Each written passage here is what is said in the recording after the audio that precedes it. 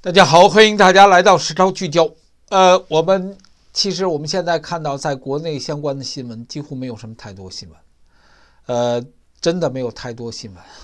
在什么武汉呐，或者大连呐，老人出去抗议是因为利益的问题，那个东西就那么回事，说你别介意啊，就那么回事儿。见多了，故事就那么回事儿。那个老人，你也没看到警察去打他。那警察真下手的话，嘁哩哈就没了。那个，这这这太太小儿科了。也正是因为没有新闻，所以那做一些 自媒体的网上的人，那怎么也得捡点料。在我眼睛里，那根本不是新闻，那只不过爆出来了。因为没爆出来的东西更多。而习近平的动作呢，是非常的隐晦，就是这么长时间非常隐晦。呃，自过年之后，其实过年前开始就没有什么太多动作。我跟大家解释过，我说，呃，习氏王朝颠覆中共政权，现在其实很多人都认可这个说法。我们最早说的，然后我们注意到，在二零二三年一月一月一号呢，他不再提到统一，啊，没有用统一，他是说台湾跟中国大陆相向而行，他用的词儿是这个，去掉了统一，无论是和平统一还是。呃，武力统一，它叫相向而行。相向而行什么意思？那是并行的两个政权，等同的两个政权，搞对象才叫相向而行，对不对？没有背着事儿的，背着事儿那是离婚。所以这些我们都在节目中讲过了。习近平有他自己的想法，那所有骂他的人都说他把这个国家毁了。中共国该不该被毁掉？中共国该不该被毁掉？他执政十年最伟大的功绩，全都是虎头蛇尾，全都是铺张完然后毁掉。就是他上台之后，把江泽民、把胡锦涛的年代、江泽民垂帘听政的年代积累下的钱全给毁了，对不对？对不对？在所有人骂他笨蛋的时候，他的笨蛋是让他成为一个让中共毁掉的好蛋，最精的精蛋子，那，对不对？最大的笨蛋，可是就是最惊诧的、最令人感触的。其实他做了一个最大的笨蛋，他做了最大笨蛋，去他的客观结果超越了今天的。体制下的几乎地球上的所有的精英，这这这是客观事实，他已经做完了。在几乎所有朋友、所有自媒体在骂他的时候，他在走向成功，毁掉中共国。那毁掉中共国，他反腐的一切，他不杀人，他把钱都给毁了，他把权给，他把他们的权利给剥夺了。把钱给糟蹋了，权钱就不过如此吗？对不对？那色呢？他身边真的没女人，他这么玩他身边没有女人。那胡锦涛没女人是他不敢，那江泽民是肆无忌惮，那他呢？你可以把他解释成怕。我跟大家解释，他怕女人，怕都是家里的女人，甭管是前原配还是现在的老婆。他骂他的，其实他怕，就这么一个很有趣、很有趣的人，而他很秉承权力，所以这是他走，这是我们看到他走过的路。而他为了达到自己目的，无规无矩，无规无矩，他破掉了共产党所有规矩，达到他的目的。政治局常委七上八下，在他眼睛里什么都没有了。我让你来就来，我让你走你就走。胡锦涛，我给你提了出去，江泽民，我让你死了。没有第二个人能做到，没有第二个人能做到，对不对？那这个做法，人们呼吁他是独裁，但他在毁了共产党的规矩。他做他做什么独裁？他在毁了共产党规矩。他做什么独裁？有人说他不退休，他在他眼睛里没有退休和不退休。当他第三期连任的时候，他也没讲自己连任不连任，反正我就是这个，so what？随便你们怎么说，我都不跟你讨论。我是否下台，我也不跟你讨论我是否有接班人，我不跟你讨论，没有这个话题。那很多自媒体还在那猜呢啊，谁是他接班？接你个大头鬼呀！他全给你毁了，接什么班呢？习近平有接班人，共产党就在延续，怎么搞不清楚呢？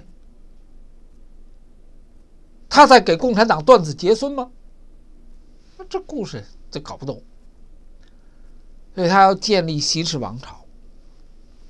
真正的看节点，你要看这个两会。那在。十二月份的，在十月份的二十大上，所有人都认为会把他两个确立放在党中央党章里头，但他没有，两个维护是两个确立。然后现在说法，他要修改宪法，他要把他自己放在宪法里，他要把他自己放在宪法里，中华人民共和国是不是就改了？我没印象，那没印象，毛泽东是不是把自己的名字放在宪法里？他就是国家，国家就是他。那如果习近平把自己的名字放在宪法里，他就是国家，国家就是他。他超越了共产党，他颠覆了共产中共政权。这个国家改姓了，不是中共，这国家是姓习。共产党只不过是他的核心力量，他统治的力量，他的。他的纳粹支部，你看叫你叫他什么名都都成，但共产党没有绝顶的地位了，因为他是顶。我们原来说过，他把共产党装兜里了，所以他利用了中共的体制，谁反他就是反共产党。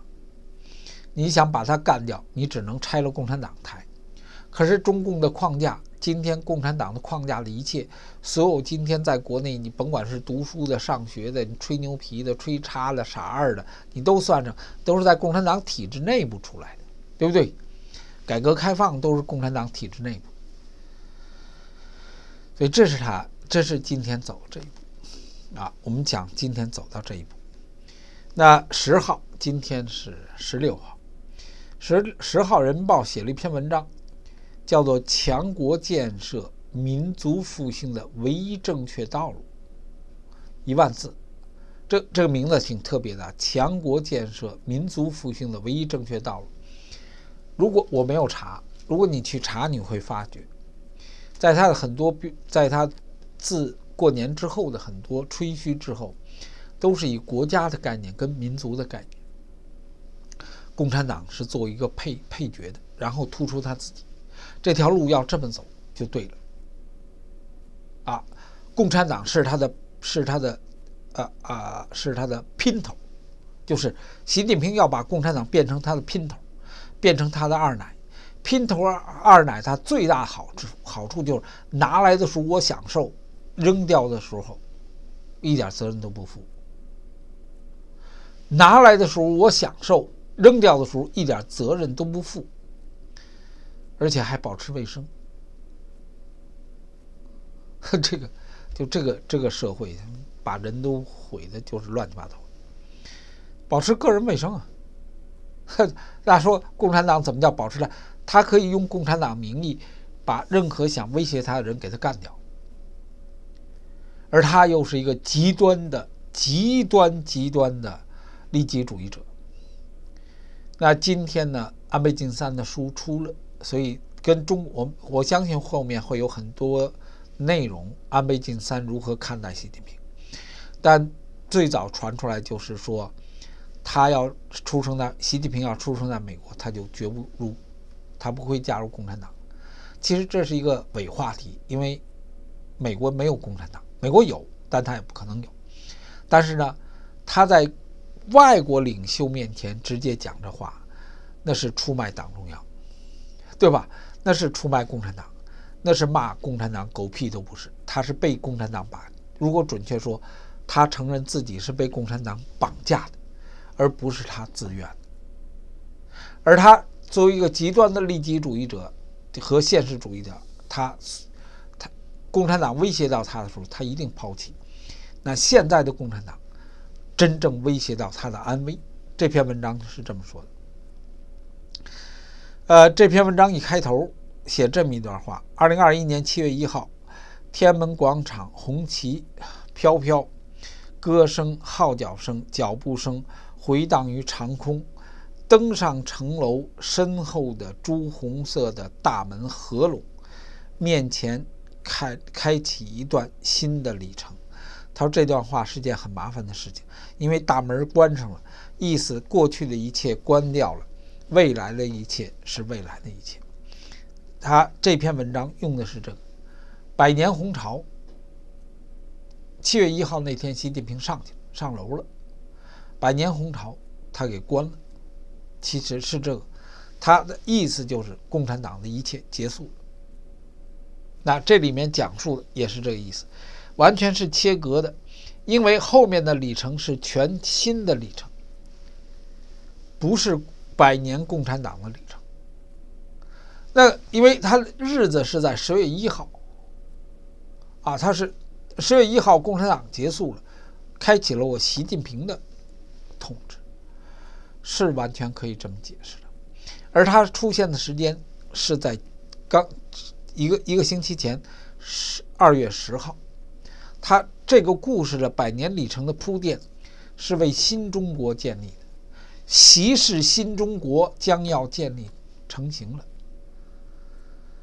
所以这是我们那那在在它建立的过程中，会出大事情啊！这是这是我以为会出大事情。而作为配作为陪衬的呢，你可以看到这些报道，呃，上海、广东港口空箱空的集装箱堆积如山，出口商欲哭无泪。这是昨天的一个媒体，呃，全球前三十大货柜港口排名，中国占了前十位，曾经，那现在都都都不灵了，这个哪哪这这个，我觉得就 OK 了。我早跟大家解释，他的政策是毁了他。他习近平的所有政策是毁了中共国，客观促成了兑现了这一套。他是否主观的不知道，他是否主观的不知道，但是呢，它的客观结果是这个。今年的一号文件姗姗来迟，事情不小。一号文件公布，强调确保全国粮食产量在一点三万斤以上。坚决守住不发生规模性的反贫底线，就是再次进入贫穷，大概大概就是这个意思。这个东西呢，粮食不同于其他的，你吃完了它还得吃，对不对？货柜有房子盖完都是多少年在那放着，唯独粮食，在民生问题上，唯独粮食没办法凑合，他得吃饭，所以当然是他的头等大事。那。在随着时间的，就是如果是这样的东西共同而来的话，货柜没了，那就没钱了，就是没有流动的。这样它会从这是从十一月份就没了，十一月份进出口是很很差的，十月份、十一月份就没了，半年之后就是今年的春天，三四月份，对不对？它就会显现到中国的各个环境中，将近百分之七十的 GDP 都来自于进出口。里面这些细节我们不管，他们转到哪儿去了？那都这都是习近平政策的结果。那那另外一个另外一个跟大家可能有朋友不太愿意那个这个凶相，点名中共国这小男孩了。这小男孩这小男这小男孩呃，这小男孩中间一段他说了，呃，主要是说了中国。我们就想说了中国这段，他说，在星象中，中天中国目前的星象跟当年发生三大饥荒时期是类似的，会有很多人死亡，区域是灾难性的，灾灾难性的意思就是只在中国发生，三大自然灾害也是那个那个时候发生的，发生的是不是自然灾害？呃，争论不一，对吧？有人说那是人祸。政治家说人祸这，我觉得问题都不大。他的问题是，在那个天象之下死人了，死了两千多万人。在那个天象之下死人了，说不是自然灾害，是毛泽东害死的。OK，他把人害死了。OK，呃，如果再发生的故事说，说不是自然现象，是习近平害死的，没那那么过，就是因为习近平在，习近平做这些事情，所以中国人就死了。我说的是这意思。所以我跟大家解释过，这个小男孩不灵了，他自己看不着了，他就看星星。那看星星呢，有时候就能蒙对了，有时候蒙不对，因为你要看东西的话，就是他天目如果看见的话，一看就看着了。你让他解释不清楚，他现在老解释，哎，星星走到这儿了，星星走到那儿，星星走到那儿。这次他解释的呢是金木水火土，金木水火土当中，只有金星没捣乱，其他四颗星都捣乱了，然后加上了一颗彗星。彗星我不知道他是不是讲述的五万年才来一回的彗星来了，都是这故事，五万年来一回彗星，我想都想不到，对不对？所以，如果这么遥远的彗星来到这儿了，不遥远遥远了就，那就是出大事了呗，对吧？那能赶上一次，不就折腾一回吗？那那么远，五万年才才来一回打照面，哎，哥们儿你还行啊，还行，吃了吗你？没有，刚从洗手间出来，还他那你这招呼打的有点太过分了。所以他他他就按照书本上说，天象，针对中国的天象是这个天象，那就是一个大变革的天象。